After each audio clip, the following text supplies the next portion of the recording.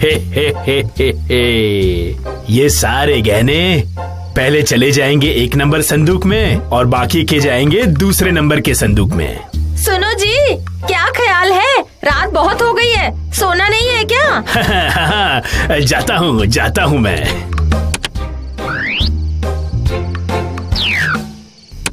ये क्या? गहनों के दो भाग करके अलग अलग संदूकों में क्यों रखा है? अरे यही तो बात है। महाजन की बीवी होने के बावजूद और मेरे साथ इतने साल बिताने के बाद इतना तुम्हें नहीं समझा। कैसे जानूँगी हाँ? इतने दिनों में आपने महाजन के बारे में मुझे कुछ बताया है जो मुझे पता चले? बताइए। ये रही मेरी दो नंबर की संदूक जो सोना गिरवी रखते हैं और उधार चुका नहीं पाते हैं। वो सारे गहने मैंने इस संदूक में रखे हैं। सोना गिरवी रख के उसका पैसा नहीं चुका पाया? हे हे हे हे। सवाल पूछने का तरीका तो देखो। वो क्यों नहीं उधार चुका पाए ये मैं कैसे बताऊँगा? मेरे ब्याज की रकम बहुत ज़्यादा है। अगर वो दो तीन साल चुका नहीं पाते तो ब्याज की रकम बहुत बढ़ जाती है। चार गुना। तो दो नंबर संदूक के सारे पैसे और गहनों के मालिक अब तुम हो। बताओ मुझे। अरे यही तो होता है भगवान।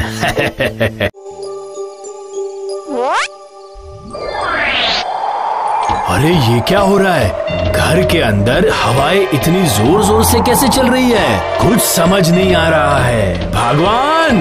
ओ, भगवान!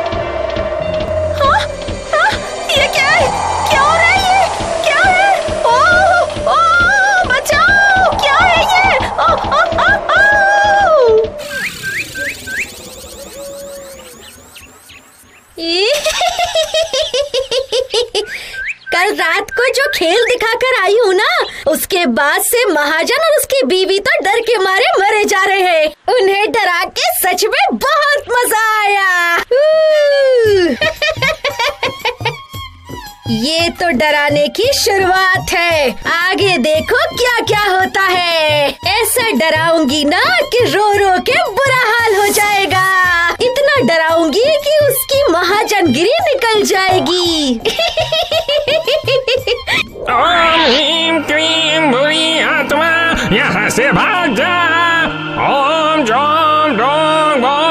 निकल जा यहाँ से। ओम। जय माँ भूतेश्वरी की जय। ओम शांति ओम शांति ओम शांति।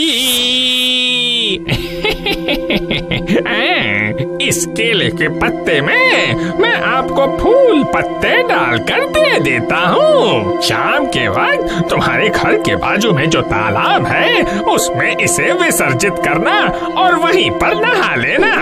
आएगी आएगी। शाम को महाजन की बीवी इसी तालाब में आएगी। मुझे पक्का पता है। उसके आने के बाद ही शुरू हो जाएगा मेरा डराने का खेल।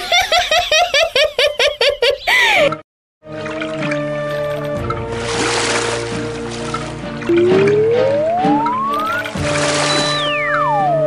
ये क्या आ, आ, क्या हो रहा है आ, आ, क्या हो रहा है ये आ, आ, कौन है मैं तुझे ऐसे छोड़ने वाली नहीं हूँ।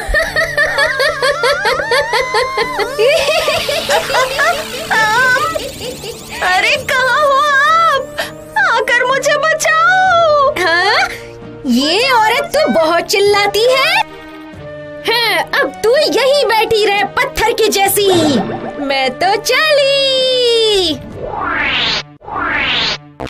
बाप रे बाप, लोग तो उधार का पैसा ले तो जाते हैं, लेकिन वो वसूल करना बहुत मुश्किल बात है। मांगो तो रोना धोना शुरू हो जाता है। हम्म। भगवान, अरे ओ भगवान, मैं बाज़ार से अच्छी मछली लेके आया हूँ। अच्छी तरह से मसाला डाल के पकाना। अरे, भगवान ने तो अभी तक खाने पे बुलाया नहीं। जाके देख के आता हूँ, पका क्या रही है।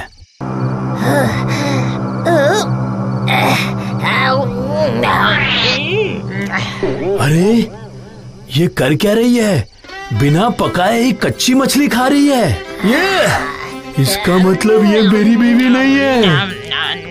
मुझे ये सब देख के समझना होगा। ये क्या देख रहा हूँ? मुझे ये तो समझ में आ गया कि ये मेरी भगवान नहीं है। ये तो साधारण औरत भी नहीं है। ये तो डायन है डायन। अब मुझे ही कुछ करना होगा।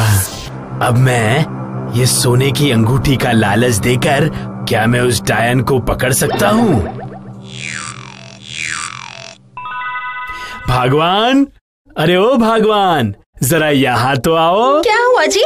आपने मुझे क्यों बुलाया है? देखो ना मैं कैसी मुश्किल में पड़ गया। ये अंगूठी इस बोतल में अटक गई है। अब तुम ही बताओ मैं कैसे निकालू? कुछ बताओ भी। बोतल को तोड़ दो। अरे ना ना ना। मैं ये बोतल को तोड़ना नहीं चाहता हूँ। इसमें सुंदर फूल लगा दो तो बहुत खूबसूरत लगता है। अगर बोतल से बाहर निकाल दी तो मुझे क्या दोगे? तुम्हें बहुत गहने का शौक है ना? अंगूठी बाहर निकाल के दे दो अंगूठी तुम्हारी हो गई। सच में? सच्ची सच्ची एक नहीं तीन बार सच्ची। वाली अंगूठी है। जब मेरे पति बीमार थे तो मुझे अंगूठी बेचनी पड़ी।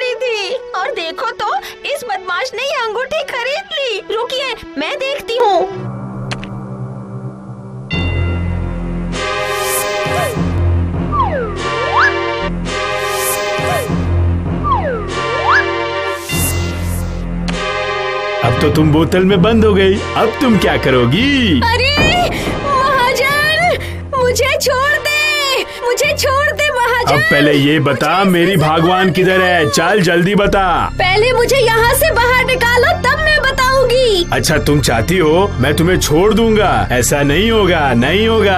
हाँ। तू मुझे लेके चल वो तालाब के पास है। तालाब के पास जो पेड़ है वो उसमें बैठी है।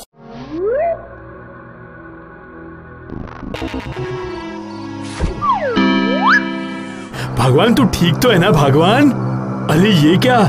तुम मुझे ऐसे घूर क्यों रही हो? कुछ तो बोलो।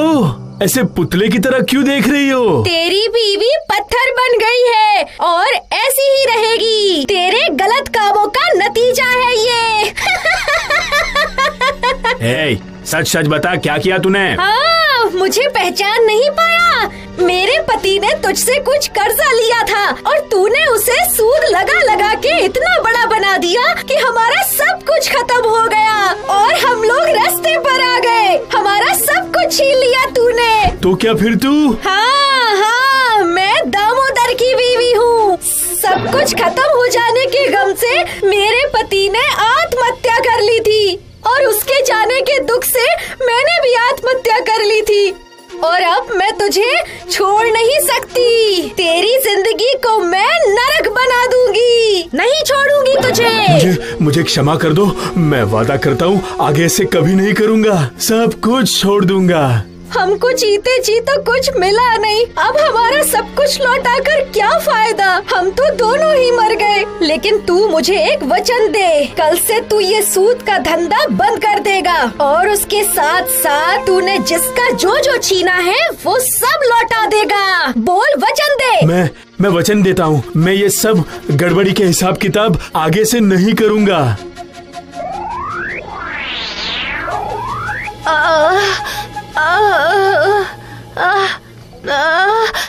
मैं मैं कहाँ हूँ जी? भगवान घर चलो भगवान। मैं तुम्हें घर जाके सब बताता हूँ। हाँ चलो चलो। हाँ हाँ बीवी को लेके घर जा। लेकिन मैंने जो वचन दिया है अगर तू उससे मुकर गया तो मैं तेरी गर्दन मरोड़ दूँगी। सोच ले छोड़ूँगी नहीं तुझे मैं।